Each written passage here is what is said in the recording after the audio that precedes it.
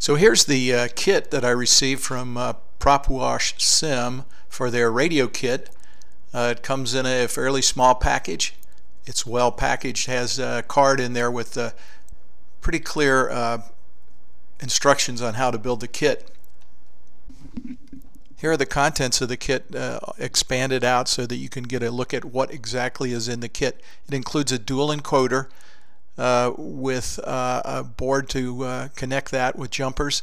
Includes the uh, printed circuit board, the character displays and the drivers, all the header pins that you need, and the button. Does not include the leads that you'll need, so you need to find some jumpers to connect everything up and the equipment to put it together. So I'm all done soldering. I soldered uh, one board. Uh, PropWash sent me, uh, Kyle sent me one already soldered, and I used uh, kind of that as an example and soldered the other one. Believe me, I'm no expert at soldering, but I was able to do it in about 30 minutes. I would suggest that you have a real a good soldering station with a nice sharp point on it, and also a uh, visor if you're an old guy like me. Uh, it, it, looks those little dots look pretty close together. But uh, they went together well, and the instructions were clear, and uh, no problems building them. Now I'm going to fire it, fire it up. It took a little while to get the leads all hooked up because I daisy chained off this Arduino Uno I have.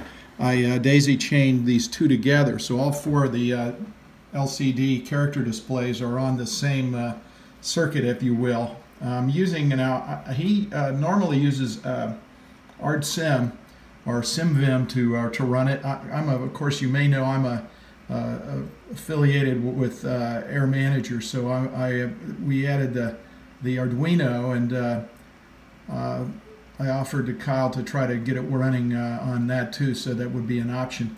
So he sent me one kit and one completed board, and I've got them daisy chained together. Now I made an instrument to run these, and I'll show you that in a minute, but let's fire this thing up here and see what happens.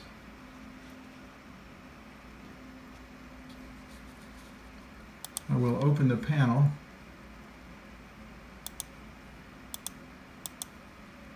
And here we go.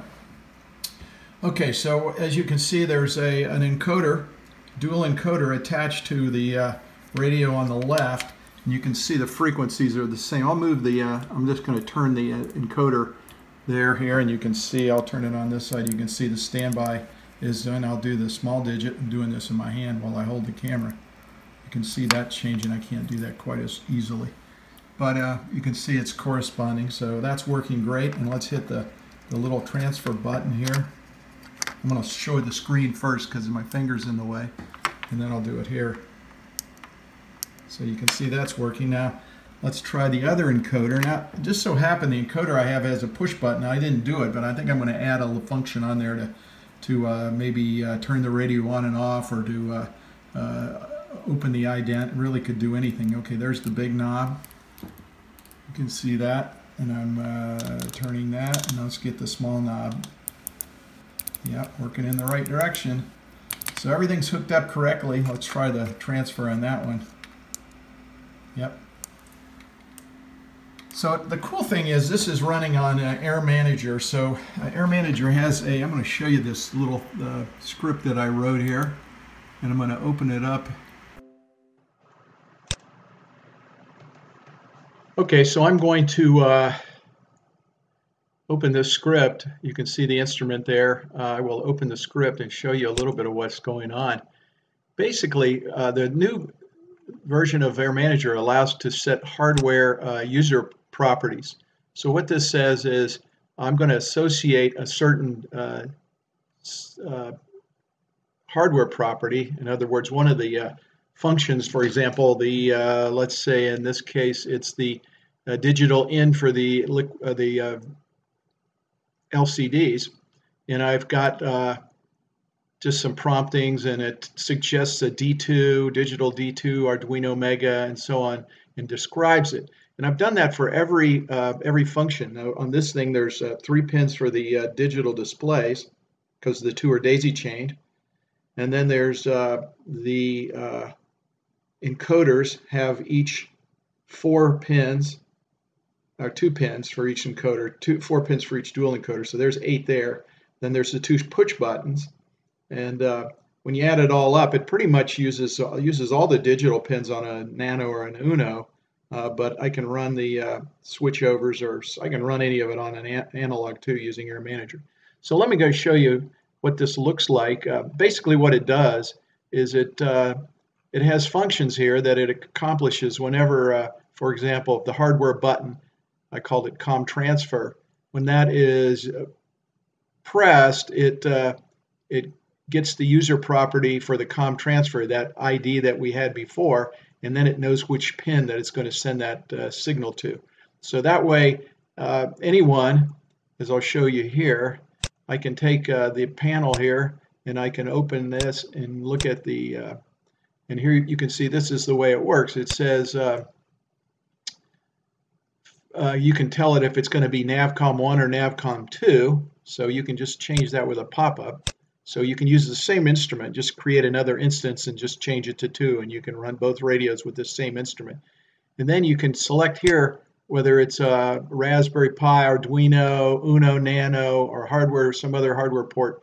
And then uh, you can select the channel, which when we run the installer on the, on the Arduino to make it work with the Air Manager, we have to pick a channel. We can put up to, uh, I'm not sure how many there are, a bunch there are A through P. So that's how many Arduinos it supports now. And then you pick a pin. In this case, we've got D2 for that. So then as you go down here, you've got the uh, LCD, uh, the digital in, the clock, the load, the um, the uh, COM transfer button, and that's on channel AD5 and so on. So, so basically what you do is you can wire this thing up or kind of randomly and then look at what each, as you put each pin in, you can just select it here and it'll automatically be connected correctly. And then you can see it goes through all the, uh, all the different functions. So you can set everything up without any programming. Uh, you can run uh, up to the limits of, uh, of your Arduino. If you have more than one Arduino in the same script, you could just have one on channel A and one on channel B and so on. So uh, it's very flexible. So I, I was uh, amazed how easy this was to uh, set up. And uh, this instrument I'm going to send to uh, Kyle, and he'll be able to let any of his users who, who want to use Air Manager uh, to use it. Air Manager does have some nice features. You know, it's you can use the same plugin basically to create a home cockpit. It's expandable, so you can start off with maybe a touchscreen and work your way into hardware and just keep building and not have to support a bunch of different devices and in plugins. Pretty much it's a one-stop shop for cockpit building. So anyway, that's how it works. So uh, I know a lot of people use ArdSim, and that's uh, free and also a great way to go. Um, uh, so I know it'll work just as well with that. My appraisal of the hardware is that it's it's pretty nicely designed. Um, the only thing I might want is to make it a little narrower, maybe some smaller LCD, so that you could put these side by side in a standard uh, six and a quarter. These are probably, uh, it's the, the faceplate that he has, which I'm going to, after this, I'm going to go make a little enclosure and mount it in the faceplate and show you this thing one last time, uh, ready to go. But um, the uh, faceplates are about seven and a half inches wide, and there's one for each radio, so you have to stack these things up. Uh, it, it, would be nice if the board was smaller so that you could put two side by side and sneak them in there, but it would take a, a small uh, character display. I don't know if those are available, and maybe that's on his radar for the future. But I'll tell you, this sure beats the heck out of Saitek or one of those things.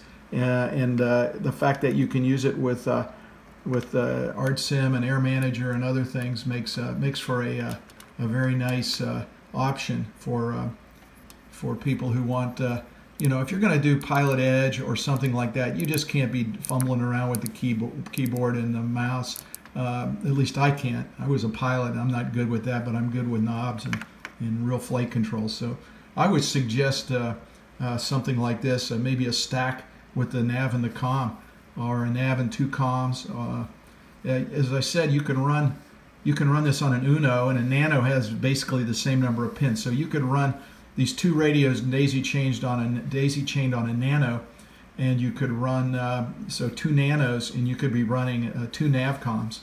Um, and the price is right for these little boards. I think they're about under $40 for uh, for the uh, kit. So uh, and, and, as i said i'm not absolutely no no soldering expert, but I was able to put them together, put one together in about 30 minutes. Uh, and my hands aren't as steady as they used to be, so a big uh, visor can sure make that those little solder pads, uh, you know, a magnifying visor can make those solder pads look a whole lot bigger. So I'll be back in a minute. i am gonna gonna take a break here and make a little case for this thing, and then I'll put the face places, face plates on and uh, show you what I come up with. So here's the completed project mounted in the box. It makes a nice unit. I guess you could create that radio stack as high as you wanted and put um, numerous radios and I believe there's an option for a transponder and an ADF in the uh, in the mix also but uh, with the same hardware. But uh, this makes for a nice looking little unit. I'm going to uh, demo it. You can see uh, of course working with the uh, simulator and the small knob transfer nav up and down up and down and let's swap so uh, all told it could build this in two or three hours it's going to cost you uh, for the kits I don't know about you but for me building it is half the fun so I really like uh, I like building stuff, and uh, I was surprised. Now, pardon the uh, the drywall screws. I, I built this uh, box from just scrap lumber I had laying around the house. Found some gray paint that I had. I would probably paint it black if I had uh, had planned ahead, and uh, and use some nice black or uh, panhead screws would look nicer. But but the button action is nice. The encoder is nice. Uh, I give it a thumbs up. I think it'd be a great project for anyone who wants to add uh, radios to their simulator uh, inexpensively. Great project uh, to try. There again, you can run it with uh, ArdSim or SimVim, VimSim or whatever they call it now, or Air Manager. Of course, my preference because it gives you uh, the ability to run instruments on an iPad, Android, Raspberry Pi, and and you could run this unit on Raspberry Pi with the same program by just going into those uh, user ID hardware user ID uh, properties that we showed you earlier and just select Raspberry Pi and the pin number and uh, you could run this. And the beauty of the Raspberry Pi is you can uh, also have a screen to display instruments uh, too. So uh, just a very flexible program. My dream was to find a software that could run every the entire cockpit, build the entire cockpit and run everything, including uh, throwing in iPads and Android and so on. And uh, Air Manager is just about there, working on the nav database now. And when they get that completed, be able to make some high-end nav instruments using Air Manager too. Uh, but in the meantime, uh, uh, there's lots of options with uh, all the sim platforms. The other advantage of that I like about Air Manager is that it can support this same software you're looking at right here that I showed you earlier will support FSX, Prepar3D, and uh, also uh, X-Plane. So, so one radio can run all three. If you have multiple uh, multiple simulators and you're operating them, including Aerofly, by the way, uh, you can just uh, plug it in and it'll recognize it and it'll operate just fine. Didn't get around to changing this push button to the on-off. Uh, I'm sorry, it's on the second one. Didn't get a chance to swapping that around, adding that feature, but I'll try to do that later. Anyway, thanks to Kyle. I should tell you that he sent me the kit free to evaluate and to see if we could get it working with Air Manager. In this case, this answer is a big yes, and I'm excited to uh, to try to support any of his future uh, products too for those who use Air Manager. I really do like what Kyle's doing. He's uh, trying to bring uh, hardware that's affordable to the market, and uh, we always need that. I'll leave a, a link for his uh, company in the comments below, along with information about Air Manager and ArdSim and SimVim. Thanks for watching. Hope to see you on another video soon.